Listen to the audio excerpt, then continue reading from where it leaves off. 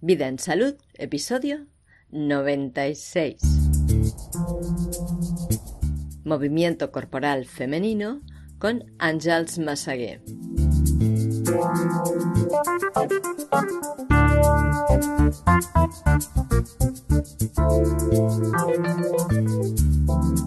En este episodio quiero presentarte a Àngels Massaguer que nos acompaña en el descubrimiento de las estructuras del movimiento corporal femenino como ponente de la Academia para la Autogestión de la Salud que tienes a tu disposición en vidaensalud.es barra academia. Ella nos acompañará en el descubrimiento de esos aspectos específicamente femeninos que son protagonistas en procesos tan importantes como el embarazo o el parto, y lo hará mediante la experiencia empírica, es decir, moviéndonos.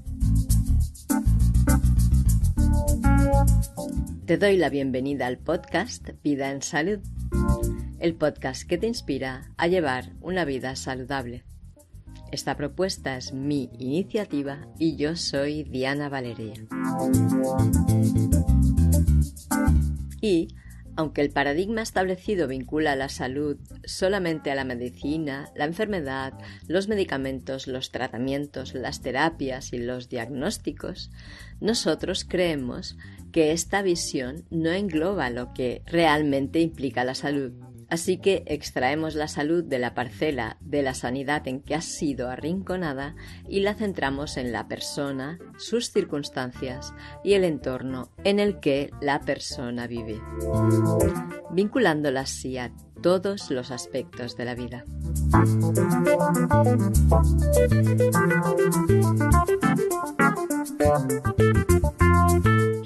Yo el trabajo que propongo con las mujeres, mi trabajo es, muy global, ¿eh? yo soy terapeuta corporal, mi trabajo es muy global, entonces sí que hay, tengo las sesiones de que trabajo el suelo pélvico, el periné, luego tengo pues las mujeres de preparación al parto y luego las de posparto.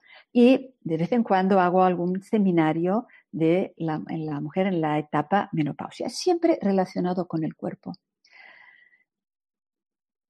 Yo vengo del mundo de la educación y digo esto porque siempre me ha interesado mucho, desde ya que estudiaba ya en la escuela, me interesaba el ser humano y creí que entrando pues y estudiando educación, pues me iba a, abrir una puerta de trabajar con el ser humano y, bueno, entrar en el conocimiento del ser humano. Estuve muchos años en educación, me interesó muchísimo, pero también me interesaba mucho qué pasaba con el cuerpo, ya en el cuerpo de los niños y luego me fue interesando más en el cuerpo de los adultos. De aquí hice el paso a hacerme terapeuta corporal porque vi cómo ya en la escuela ya se disociaba un poco lo que era el aprender de mantener este, este estar vivo corporalmente. O sea, que muchas veces, no, yo pienso que siempre, ya a lo largo de los años, hemos perdido la vivacidad de cuando éramos niños. ¿Y por qué esto? Pues por todo lo que se nos va acumulando de experiencias buenas, malas, de tensiones, de conceptos, de creencias, y todo esto se nos va modelando una forma de ser y con unos patrones de actitud corporal. ¿Por qué no nos damos la oportunidad de, de momentos de poder mantener este contacto de silencio, de armonizar lo que es el movimiento y conectarnos otra vez con nosotros para recuperar esta vivacidad, esta vida que hemos tenido desde pequeñas, desde pequeños, que jugábamos y esto era vida. Y ahora trabajamos y no es vida porque es obligación. Los niños no juegan por obligación. Los niños no es que jueguen, es que viven. Y esto a mí me quedó. Yo te digo, pasé muchos años en educación y era una, un continuo aprender de ellos. ¿Por qué los adultos todo esto lo hemos aprendido? ¿Por qué las niñas hemos de estar una, una forma de querer ser que está muy dictado sobre todo por las modas y por todas unas pautas externas a lo que nosotras somos. Y esto nos influye muchísimo. Por eso digo que yo trabajo el cuerpo en su globalidad, incluso cuando trabajo el suelo pélvico o perine, siempre estamos en la globalidad del cuerpo, porque uno de los objetivos marcados es poder conectar con este sentirte cómoda con tu propio cuerpo. Y no te vas a poder sentir cómoda si estás todo el día copiando cosas externas a ti, porque tú no eres eso. Y eso nos pasa factura. Cada persona tiene su propia manera de ser y cada persona es genuina. Y tanto que sí.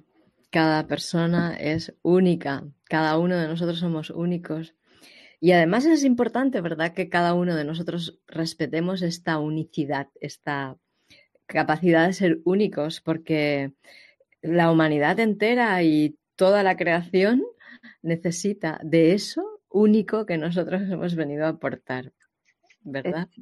Exactamente. Esta unicidad, yo diría, y esa armonía, esa armonía que te viene dada, pues, por los gestos que puedes encontrar otra vez genuinos, ¿no? Y esta sabiduría que ya es adquirida desde siempre, desde siempre. Trabajo mucho con mujeres, con hombres también, que me vienen a mis grupos. Siempre trabajo desde el marco de la prevención, de la salud y del bienestar y del respeto, de respeto al ser humano único y que puede aportar y que está enlazado con ser responsable de lo que comes, de cómo tratas a los semejantes. Todo esto que para mí es una filosofía de vida, pero sobre todo es un derecho y un deber que nos debemos. Este respeto y este saber continuamente conectar con, una, con uno mismo. Mi trabajo, el trabajo global que hago con la gente, he hecho un método que se llama Gest Conscient. Gest, gesto. ¿Por qué gest, gesto? Porque esto es encontrar lo genuino. No es una posición, no es una postura, es un movimiento, es un gesto, que es una expresión. ¿Y a esto qué nos lleva? Pues que para encontrar tu propio gesto, has de encontrar o reencontrar cuál es tu tono justo, tu tono muscular. Ah, y con esto que, ¿a, dónde vamos? Pues a todas las tensiones acumuladas, conscientes o inconscientes que tenemos.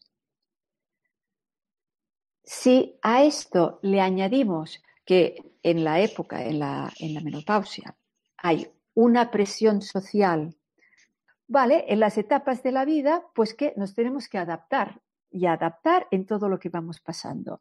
Ya, pero hasta que morimos hay el placer de encontrarte bien con tu propio cuerpo.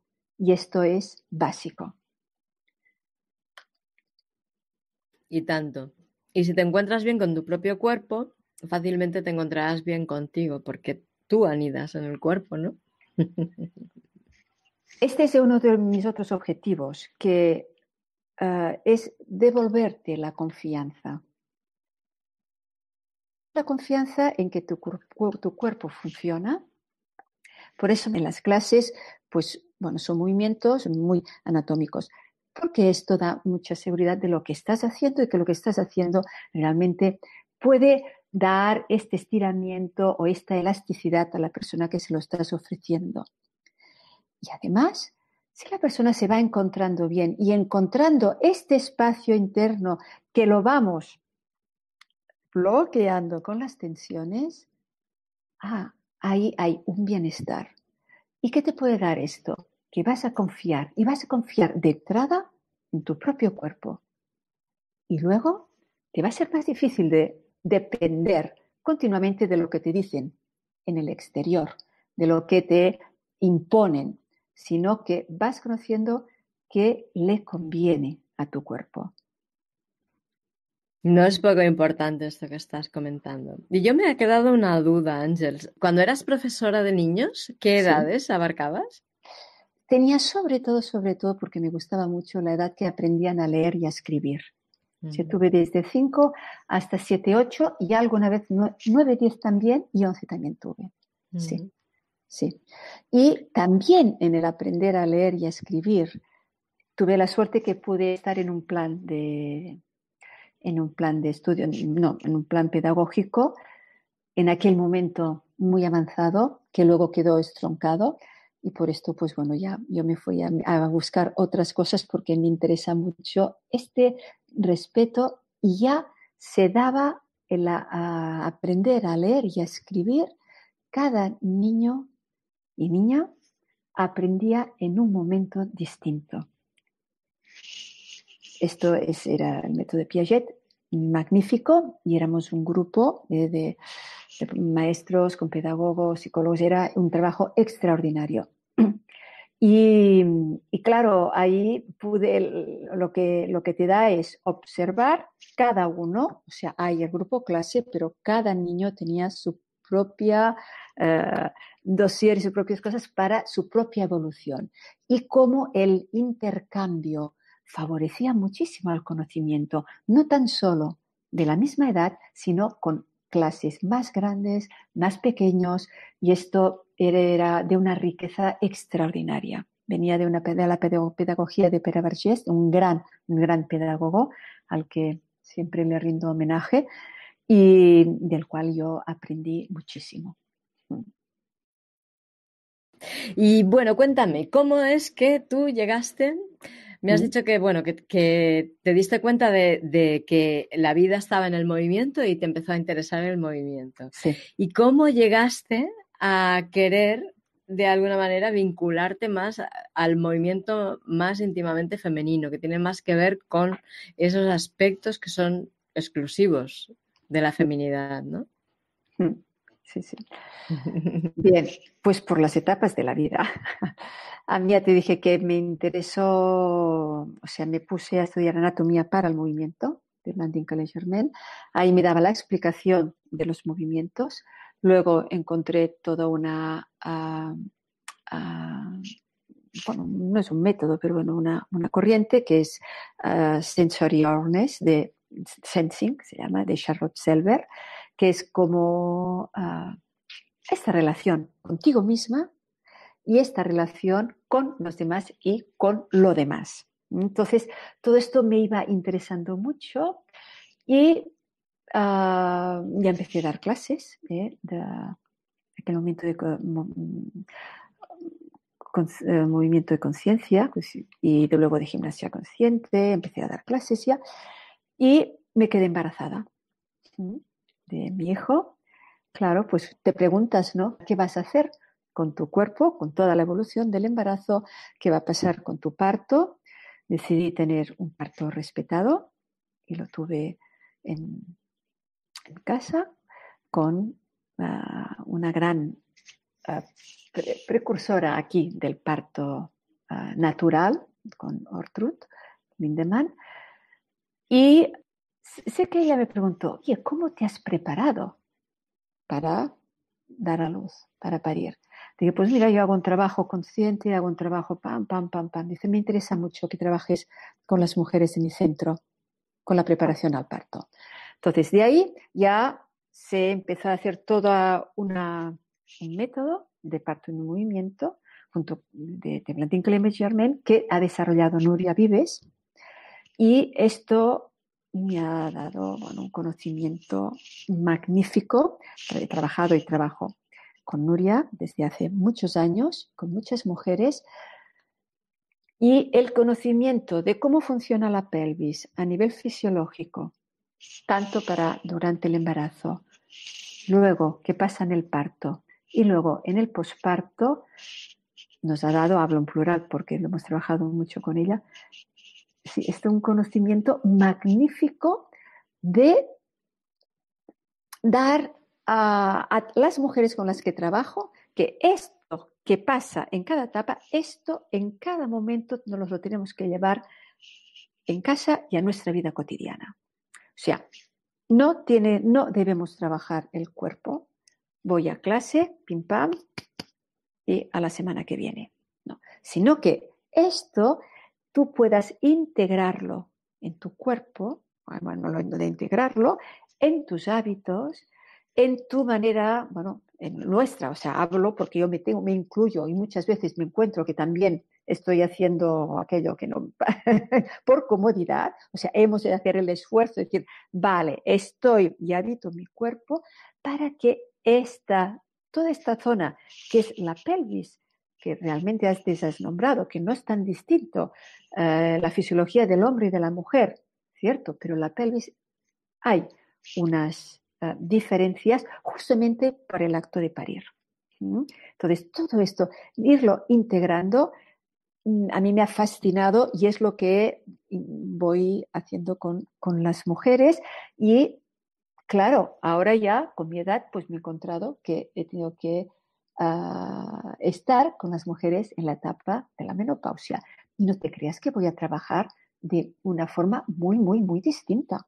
No, simplemente con este darte cuenta, con este estar, con estas pautas de estos movimientos que se pueden proponer y con este conocimiento que vamos teniendo tanto de lo que es la pelvis a nivel de osteoarticular y a nivel de lo que es el suelo pélvico y perine, a nivel muscular, a nivel de los esfínteres, qué es lo que pasa en las vísceras de la pelvis menor, eh, que es la matriz o útero, a mí me gusta más llamarla matriz porque es femenina, y parece que ya útero ya lo dejas más para en el ámbito ya de, la, de, los médicos, no, con, nuestra matriz o útero, nuestra vejiga, nuestro recto, con nuestros esfínteres, que es el ano, la vagina, la uretra.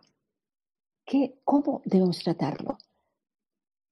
¿Cuántas mujeres me han preguntado? Pero, a ver, debo, paro, el bebé va a salir por la vagina, ¿no? Claro, esto te quedas diciendo, vale, esto es ir a volver a realmente conectar y quizá no vas a conectar directamente con la vagina, quizá vas a conectar con la respiración, porque lo que necesitas es sentir que eres un cuerpo vivo y a partir de la respiración lo vas a sentir ¿eh? o al menos eres consciente de que estás aquí y cómo vas a ir desde, ya te digo, siempre de una globalidad a la particularidad de trabajar esta zona que es mucho más compleja. Mucho más compleja porque fíjate que te he nombrado en un espacio muy pequeño que es el suelo pélvico y ahora me centro más en la mujer. Te he hablado del ano, de la vagina, de la vejiga. Y esto es el sistema digestivo, el sistema reproductor, el sistema urinario. Y esto convive en un espacio muy pequeño. Por tanto, estas vísceras que desembocan en estos esfínteres conviven perfectamente entre ellas. ¿No las vamos a cuidar? ¿No las vamos a respetar? Pues claro que sí. Y vas a tener mucho cuidado cuando te digan, bueno, esto ya, como estás menopáusica, esto ya no sirve. Cuidado. Claro que sirve, porque es un medio de sujeción entre ellas. Y cuando tú lo conoces, ¿es realmente debo prescindir por lo que sea, por salud o así? ¿O es una frase hecha que al final se realiza? Porque es así que se nos ha tratado mucho tiempo, ¿no? De esta manera como esto ya no sirve, ¿cómo que no sirve? ¿Cómo que un útero no sirve? Está ahí por algo, naturalmente para dar a luz. Pero dentro del sistema fisiológico es un punto que se necesita para tener esta sujeción entre las vísceras. O sea que se va a prescindir de la matriz o útero cuando realmente se deba prescindir para salvaguardar la salud de la mamá pero eso sí, pero no vamos a decir sí enseguida. ¿Alguien tiene alguna pregunta? Hola, Ángel Diana, dice Nuria. Ángeles, acabo de entrar. Hablabas del útero. Este órgano inexistente en los libros de texto escolar. ¿Hablabas de esto? qué buena, qué buena que lo nombres, qué buena. Eh, voy a leer lo que está comentando Nuria. Eh, dice, tiene el feto en la barriga y es lo que normalmente se dice en la escuela. La palabra y órgano todavía es bastante tabú. Es la matriz. Se refiere al lenguaje coloquial dentro del aula, pero que no se, no se profundiza más. ¿no? Vale. Mm. Bueno, a, mí me gusta utilizar el lenguaje coloquial porque llega más a todo el mundo. Lo que pasa es que esto, en cuando se presta a confusiones y más cuando estás pues dando, o sea, enseñando, ¿no? La, anatomía, pues yo creo que se tiene que ser preciso y decir las cosas por su nombre. No se puede decir viente a la matriz o útero. Vaya confusión, vaya confusión. Claro, claro, claro. No puede ser que la ignorancia esté tan normalizada y tan generalizada. O sea, hay cosas que son básicas. Conocernos a nosotros mismos es lo mínimo a lo que tenemos derecho. Nuria, gracias por la aportación, porque hay trabajo a hacer. Nosotros cuando dábamos la didáctica de parte de movimiento o de periné, tuvimos que, buscar expresamente una pelvis femenina. Esto hace muchos años. Ahora ya existe. Puedes pedir y puedes comprar. O sea, si no dices nada, te deben mandar, me imagino que la masculina, pero ahora puedes pedir la pelvis femenina, como se enseña, ¿no? En un dibujito, ahí todo plano, te lo mm, aprendes de memoria, te lo preguntan, lo repites, pero no sabemos ni dónde está, no sabemos ni dónde está la pelvis, no sabemos dónde, ni dónde están las articulaciones, las caderas, no sabemos, nada, y el, dónde debe de estar aquí, ¿no? O sea, sí, ah, es un trabajo que se debería empezar. Es uno de mis objetivos de poder trabajar con maestros. Claro, eso estaría muy bien y tanto. Sí, sí, sí. Eso sería una muy buena cosa. Maestros, apuntaros a la academia para que Ángel os pueda dar clase. De, anatomía y fisiología femenina. Practicando, no es, practicando, ¿eh? no estudiando, porque parece ser que eh, estudiar fisiología ya parece aquello, bueno, ahí tendré que memorizar. No, vamos a sentirlo ¿eh? para luego localizarlo y saber qué es lo que hay y cómo está. Entonces, tus clases van a ser prácticas, 100%, sí. ¿vale? Y vas a, hacer una inmersión con apuntes, o sea, apuntes me refiero que con referencias anatómicas, casi seguro, ¿eh? o sea, pero son prácticas, sí, son prácticas. sí, siempre es mejor bailar que hablar, no te lo voy a negar. Mis clases van a ser prácticas y son basadas mucho, bueno, sí, en todo lo que es el trabajo de pelvis y suelo pélvico, periné. Ah, que es lo mismo, ¿eh? Suelo pélvico o periné. Sí, el periné, digamos, es el espacio que hay entre la vagina y el ano, sería el periné, ¿no? No. Ah. Está bien que me lo preguntes, no.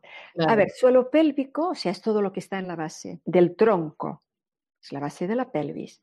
Entonces, todo este sistema muscular, ¿vale? Está limitado por una estructura ósea, ¿vale? Es todo esto. Pero entonces, ¿quién habita aquí en la pelvis menor?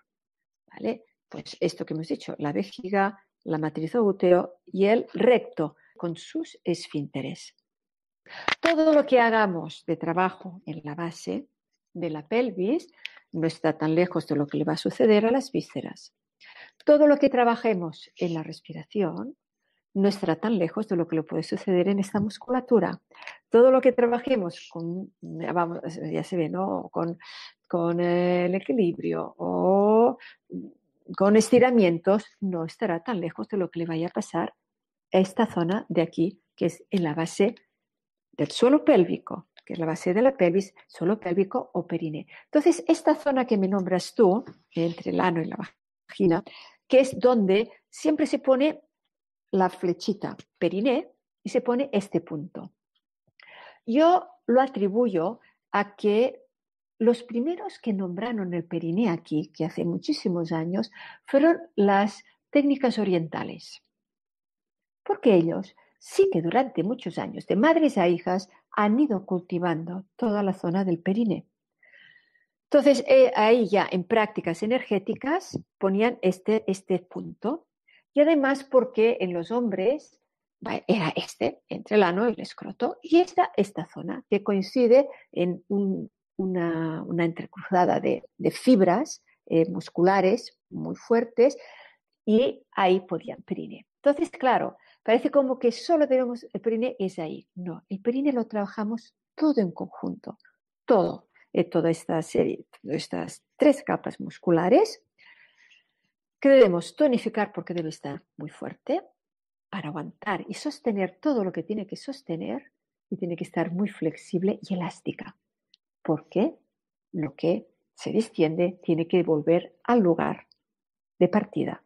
Entonces, esto es lo que la complejidad del trabajo de esta musculatura de aquí, pero que es una musculatura muy agradecida y que responde si se la trate con respeto y muy ah, bueno, sin prisas. ¿Mm? Se trabaja corporalmente. No hay ningún tacto vaginal. Eso se ha de tener muy claro. Se trabaja desde la prevención. Que esto va bien si alguien pues mm, tiene algunas pérdidas de orina pues eh, en momentos de que se dicen de, de, urgencia, en momentos pues que salta o tose o así. Que esto puede mejorar. Claro que puede mejorar porque esto se trabaja, pero lo vamos a hacer dentro del marco ¿eh? de la prevención de la salud y del bienestar. ¿Mm? Esta zona la hemos de vivificar, vivificar moviéndonos y teniendo ah, buenas relaciones, claro, sexuales. Sí, sí. Con pareja, con una misma, con, o sea, pero tener relaciones sexuales. Claro, y es que ahora que hablábamos de sexualidad, además de que tiene una funcionalidad reproductora, esta parte de la anatomía femenina concretamente, nuestra sexualidad vive ahí, vive ahí y se inicia ahí, digamos, ¿no? Nosotros pensamos normalmente, culturalmente está la idea de que la sexualidad es el estímulo genital, sea como sea, pero a mí me sorprendió mucho cuando empecé a leer a una bióloga que se llama Casilda Rodrigaña. Sí, sí, sí. Que ya había sido madre de mis tres hijos, pero comprendí lo que ella explicaba, porque realmente eh, el proceso del embarazo tiene una gran dosis de sensualidad con él. Y es otra de las etapas en la vida en que la sexualidad es más intensa o al menos esta es mi experiencia también, ¿no? Porque el propio embarazo ya forma parte de la sexualidad femenina, creo yo, ¿no? Y luego también está el tema, bueno, el, parto, el, el, dilema este del parto con dolor o el parto con placer, que, bueno, los míos fueron dolorosos, ¿no? Ojalá hubiera aprendido cómo tenerlos de otra manera, pero los míos fueron dolorosos, ¿no? Pero yo estoy convencida de que podrían ser con placer también, ¿no? Y que la lactancia también es una etapa o con muchísima sensualidad, donde la sexualidad también está exacerbada, es mucho más intensa, los sentidos están mucho más abiertos, mucho más expandidos, estás mucho más receptiva y, y todas esas etapas que tienen que ver con la maternidad Casilda Rodríguez las, las, une dentro de lo que es la sexualidad femenina. No es solamente el estímulo genital, ¿no? sino todo esto, ¿no? todo lo que tiene que ver con los órganos sexuales. Mm. Exactamente. Fíjate ya en el embarazo. Es, nosotros tenemos aquí la pelvis, ¿vale? Y tenemos nuestros órganos sexuales dentro, los ovarios, la matriz, ¿sí? Los hombres lo tienen fuera. ¿Sí? El pene, los testículos. Vale. Pues durante el embarazo es la primera vez que uno de nuestros órganos sexuales sale fuera. Y estamos ahí con unas, unas barrigas hermosísimas. O sea, es de una sensualidad enorme. Los labios se ponen enormes, los labios en la vagina también. O sea, es de una sensualidad enorme. Ahora, en cuanto lo vivas mal, eso se transforma en agobio. Y se desaparece esta sensualidad y sexualidad, porque te molesta todo. Entonces, es como encontrar este, este placer en cada etapa, este placer de tu cuerpo. Y, me gusta ¿no? que lo nombres, y yo, sí, Casilda fue, bueno, es una de, de las mis autoras preferidas, y que lo engloba naturalmente que sí, naturalmente que sí. Todo el cuerpo es sensual.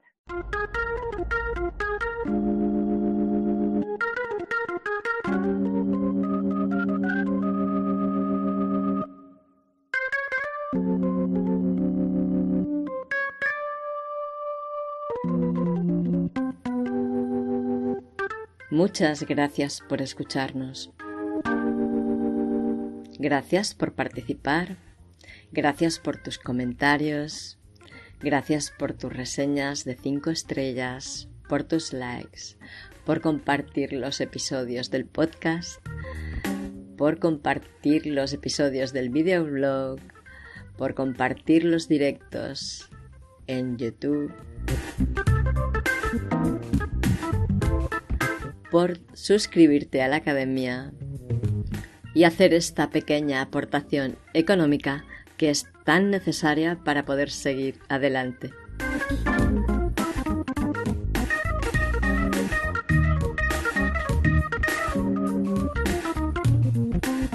Gracias por participar en las ponencias y compartir todo el conocimiento que has atesorado a lo largo de tu vida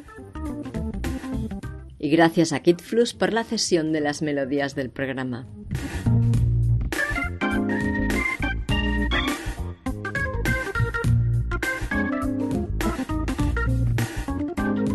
Muchas gracias a todos por estar dándole vida a vida en salud. Nos encontramos en el próximo episodio. Que tengas muy buenos días y excelentes noches.